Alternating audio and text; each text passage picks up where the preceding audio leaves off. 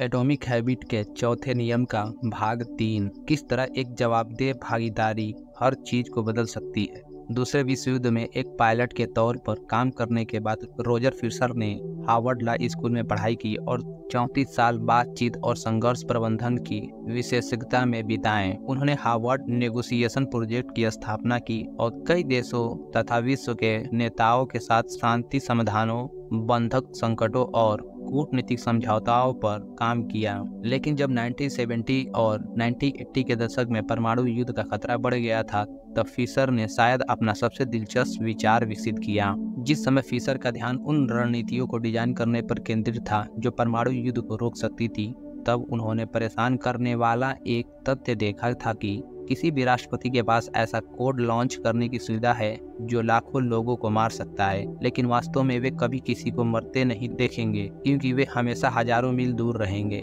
मेरा सुझाव काफ़ी सरल था, उन्होंने 1981 में लिखा, छोटे से कैप्सूल में परमाणु कोड को डालें और फिर एक स्वयं सेवक के दिल के ठीक बगल में उस कैप्सूल का प्रत्यारोपण कर दें। राष्ट्रपति के साथ चलते हुए एक स्वयं सेवक अपने पास कसाई वाला भारी चाकू रखे। अगर कभी कोई राष्ट्रपति परमाणु हथियारों को दागना चाहते हैं तो ऐसा करने का एकमात्र तरीका यह होगा कि वे सबसे पहले अपने हाथों से किसी इंसान को मारे। राष्ट्रपति कहेंगे, जॉर्ज, मुझे खेद है, लेकिन दसियों लाख लोगों को मर जाना चाहिए। उन्हें किसी और देखना होगा और महसूस करना होगा कि मृत्यु क्या है। एक निर्दोष इंसान की मृत्यु क्या है? व्हाइट हाउस के कालीन पर खून। इससे वास्तविकता से सामना होगा। जब मैंने पेंटागन में मित्रों को बताया तो उन्होंने कहा कि माय गॉड यह बहुत ही भयानक है। किसी को मारने से राष्ट्रपति का फैसला विकृत हो जाएगा। वे कभी भी बटन को नहीं दबाएँगे। व्यवहार में परिवर्तन के चौथे नियम की हमारी चर्चा के दौरान हमने अच्छी आदतों को तुरंत संतोषजनक बनाने के महत्व को कवर किया है। फीसर का सुझाव चौथे नियम के विपरीत है। इसे तुरंत असंतोषजनक बना दे। जिस तरह हमारे उस अनुभव को दोहराने की अधिक संभावना होती है जब अंत संतोषजनक होता है, उसी तरह हमारे उस अनुभव से बचने की अधिक संभावना होती है। जब अंत दर्दनाक होता है, दर्द प्रभावी शिक्षक होता है, यदि कोई असफलता दर्दनाक होती है तो वह दिमाग में छप जाती है। यदि असफलता अपेक्षाकृत दर्द रहित होती है तो इसे नजरअंदाज कर दिया जाता है। जितनी तत्कालिक और अधिक बड़ी गलती होती है उतनी ही तेज़ी से आप उसे सीख लेंगे। बुरी समीक्षा की चेतावनी एक प्लम्बर को काम अच्छा करने के लिए बाध्य करती है। ग्राहक के कभी नहीं लौटने की संभावनाओं से कोई रेस्तरा अच्छा भोजन बनाने लगता है। गलत रक्तावाहिक को काटने की कीमत एक सर्जन के मानव शरीर रचना विज्ञानों में महारत हासिल करने और सावधानी ऑपरेशन करने के लिए बाध्य करती है। जब परिणाम गंभीर होते हैं तो लोग जल्दी सीखते हैं। जितनी अधिक तत्काल दर्द होता है, उस व्यवहार की उतनी ही कम संभावना होती है। यदि आप बुरी आदतों को रोकना चाहते हैं और गैर सेहतमंद व्यवहारों का खत्म करना चाहते हैं तो कार्रवाई में त्वरित कीमत को जोड़ना उनकी संभावनाओं को कम करने का शानदार तरीका है। हम बुरी आदतों को दोहराते हैं क्योंकि वे किसी तरह हमारे काम आती हैं और इससे उनका परित्याग करना कठिन हो जाता है। इस संकट को दूर करने का सबसे अच्छा तरीका जो मुझे पता है, वह है व्यवहार से जुड़ी सजा की गति को बढ़ाना। कार्रवाई और परिणामों के बीच अंतर नहीं हो सकता। जितनी जल्द कोई कार्य तत्काल परिणाम देता है, व्यवहार में बदलाव आने लगते हैं। जब विलम्ब से भरने पर अतिरिक्त फ़ीस ली जाती है तो उपभोक्ता अपने बिल समय पर देने लगते हैं। जब स्टूडेंट की ग्रेड को उनकी उपस्थिति से जोड़ देते हैं तो वे क्लास में नज़र आने लगते हैं। थोड़ी से दर्द से बचने के लिए हम ढेर सारी छलांग लगाते हैं। ज़ाहिर है इसकी एक सीमा होती है। यदि आप व्यवहार को बदलने के लिए सजा पर भरोसा करने जा रहे हैं तो सजा की ताकत उस व्यवहार की सापेक्ष शक्ति से मेल खानी चाहिए, जिसे वह सही करने की कोशिश कर रही है। उत्पादक होने के लिए ताल मटोल की कीमत, कार्रवाई की कीमत से अधिक होनी चाहिए। स्वस्थ रहने के लिए आलस की कीमत, व्यायाम की कीमत से अधिक होनी चाहिए। एक रेस्तरा में धूम्रपान करने या रिसाइकल करने में असफल रहने के लिए जुर्माना लगाया जाना कार्रवाई के साथ परिणाम जोड़ देता है। व्यवहार केवल तभी बदलता है जब सजा पर्याप्त दर्दनाक हो और सिद्ध से लागू हो। सामान्य तौर पर जितना अधिक स्थानीय मूत्र ठोस और तत्काल परिणाम हो होता है, उतना ही उसके व्यक्तिगत व्यवहार को प्रभावित करने की संभावनाएँ होती है। अधिक वैश्विक अमूत्र अपस, अस्पष्ट और विलंबित परिणाम से व्यक्तिगत व्यवहार को प्रभावित करने की कम संभावना होती है। शुक्र है, किसी भी बुरी आदत से कीमत को तत्काल जोड़ने का एक सीधा तरीका है। आदत का अनुबंधन बनाएँ। आदत का अनुबंधन। सबसे पहले सीट बेल्ट का कानून 1 दिसंबर 1984 को न्यूयॉर्क में पारित किया गया। उस समय मात्र 14 फ़ीसदी लोग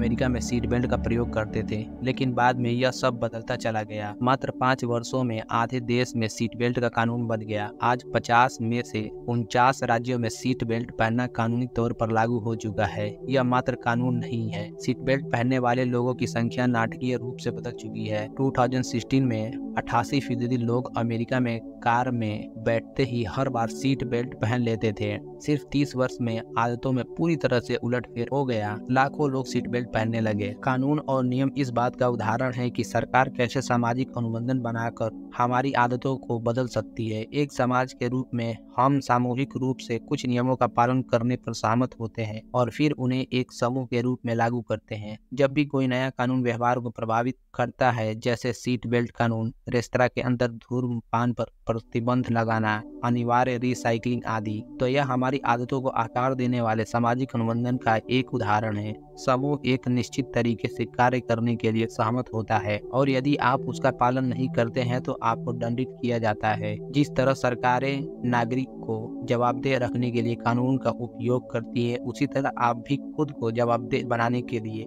आदत का अनुबंध बना सकते हैं। आदत का अनुबंध एक मौखिक या लिखित समझौता है, जिससे आप एक विशेष आदत के लिए अपनी प्रतिबद्धता को व्यक्त करते हैं और उस सजा के प्रति भी प्रतिबद्धता को व्यक्त करते हैं, जो आपके द्वारा पालन नहीं होने पर मिलेगी। तब आप एक या दो लोगों को अपने जवाबदेही भागीदारी के रूप में पाते हैं, जो आपके साथ अनुबंध पर सहमत होते हैं। नेशविल टेनेसी के उद्यमी ब्रायन हैरिस पहले ऐसे व्यक्ति थे जिन्हें मैंने इस रणनीति को अपनाते देखा था। अपने बेटे के जन्म के तुरंत बाद हैरिस ने महसूस किया कि वे कुछ पाउंड वज़न घटाना चाहते हैं। उन्होंने स्वयं अपनी पत्नी और निजी प्रशिक्षक के बीच आदत का अनुबंध किया। इसका पहला विवरण था 2017 के पहले क्वार्टर के लिए ब्रायन का एक उद्देश्य सही तरीके से फिर खाना शुरू करना है ताकि वह बेहतर महसूस करे, बेहतर दिखे और 10 परसेंट चर्बी घटाने के साथ 200 पाउंड वाला शरीर पाने वाले।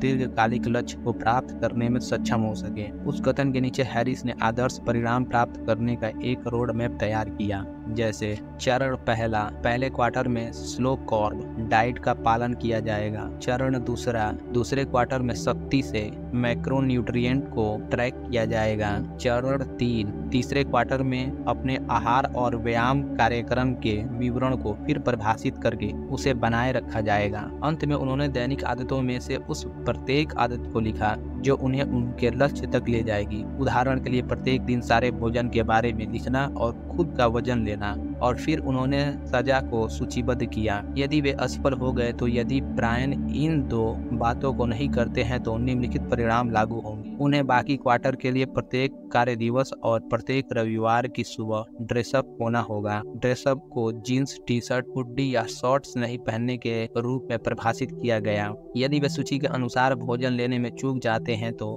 ज्वाय को अपने हिसाब से उपयोग करने के लिए 200 डॉलर भी देंगे। पृष्ठ के निचले भाग में हैरिस उनकी पत्नी और अनेक प्रशिक्षक सभी ने अनुबंध पर हस्ताक्षर किया। इसके प्रति मेरी शुरुआती प्रक्रिया यह थी कि अनुबंध अत्यधिक औपचारिक और अनावश्यक लग रहा था, खासकर हस्ताक्षर। लेकिन हैरिस ने मुझे आश्वस्त किया कि अनुबंध पर हस्ताक्षर करना गंभीरता का संकेत था। उन्होंने कहा, जब भी मैं इस हिस्से को छोड़ता हूँ तो मैं लगभग तुरंत सुस्त पड़ना शुरू करता हूँ। तीन महीने बाद पहले क्वार्टर के अपने लक्ष्य को प्राप्त करने पर हैरिस ने अपने लक्ष्य को अपग्रेड किया। उसके परिणामों में भी बढ़ोतरी हुई। यदि वे अपने कार्बोहाइड्रेट और प्रोटीन के लक्ष्य से चूक जाते तो उन्होंने अपने प्रशिक्षक को सौ डॉलर का भुगतान करना पड़ता। और अगर वे खुद का वज़न लेने से चूक जाते तो उन्हें अपनी पत्नी को 500 डॉलर देने पड़ते उसका वे चाहे जैसा इस्तेमाल करती शायद सबसे दर्दनाक यह था कि यदि वे दौड़ लगाना भूल जाते तो उन्हें हर दिन काम के लिए ड्रेसअप होना पड़ता और बाकी दिन अलेबामा हैट पहनना पड़ता। जो कि उनकी प्रिय आर्बन टीम के निकट प्रतिद्वंदी टीम का था। यह रणनीति काम कर गई। पत्नी और प्रशिक्षक दोनों जिम्मेदार भागीदार बन गए और आदत अनुबंध से हर दिन जो करना है, वह पता चलता था। हैरिस का वज़न घट गया। खराब आदतों को असंतोषजनक बनाने का सबसे अच्छा विकल्प है, उन्हें उसी क्षण पीड़ादायक बनाए। आदत का अनुबंध बनाना सीधे तौर पर यही करना है। अगर आप आदत का पूर्ण अनुबंध बनाना नहीं चाहते हैं तो बस एक जवाबदेही भागीदार होना उपयोगी है। कॉमेडियन मार्गरेट जो हर दिन एक चुटकुला या गीत लिखती हैं, वे एक दोस्त के साथ हर दिन एक गीत की चुनौती रखती हैं, जो उन दोनों को जवाबदेह बने रहने में मदद करता है। यह जानना है कि कोई देख रहा है, एक शक्तिशाली प्रेरक हो सकता है। आपके ताल मडोल करने या हार मानने की कम संभावनाएँ होती हैं, क्योंकि उसकी तत्काल कोई कीमत होती है। यदि आप वचन नहीं निभाते हैं तो शायद वे आपके अविश्वसनीय या आलसी के रूप में देखेंगे। अचानक आप न केवल अपने वचनों को स्वयं तक निभाने में असफल हो रहे हैं, बल्कि दूसरों से अपने वचनों को निभाने में भी असफल हो रहे हैं। आप इस प्रक्रिया को स्वचलित भी कर सकते हैं। बोल्डर, कोलोराडो की उद्यमी थॉमस फ्रैंक प्रत्येक सुबह पाँच बज के पचपन मिनट पर उठते हैं। और अगर वे नहीं उठते हैं तो उनके पास एक ट्वीट स्वचलित रूप से निर्धारित होता है, जो कहता है, छह बज के दस हो चुके हैं और मैं नहीं उठा हूँ, क्योंकि मैं आलसी हूँ इसका जवाब देने पर पेपल से पाँच डॉलर मिलेंगे। यह मानते हुए कि मेरा अलार्म खराब नहीं हुआ है। हम हमेशा दुनिया के समक्ष स्वयं को सर्वश्रेष्ठ पेश करने की कोशिश कर रहे होते हैं। हम अपने बालों में कंघी करते हैं, अपने दांतों में ब्रश करते हैं और सावधानी से कपड़े पहनते हैं, क्योंकि हम जानते हैं कि इन आदतों के प्रति सकारात्मक प्रक्रिया मिलने की संभावना है। हम संभित नियोक्ताओं, साथियों और अपने दोस्तों और परिवार को प्रभावित करने के लिए अच्छे ग्रेड प्राप्त करना चाहते हैं और शीर्ष स्कूलों से स्नातक होना चाहते हैं। हम अपने आसपास के लोगों की राय की परवाह करते हैं क्योंकि यह मदद करता है कि दूसरे हमें पसंद करें। ठीक यही कारण है कि जवाबदेह भागीदार प्राप्त करना या आदत के अनुबंध पर हस्ताक्षर करना इतने अच्छे ढंग से काम करता है।